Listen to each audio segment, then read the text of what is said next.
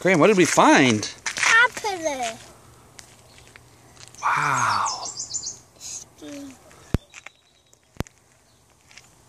Ow. Where are you going?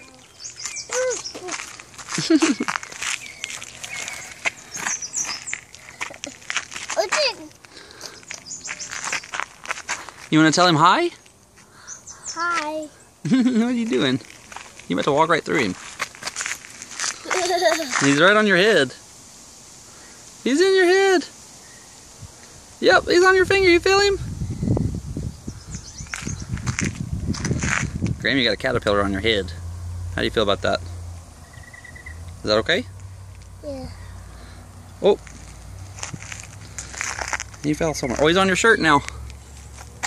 He's on the back of your shirt.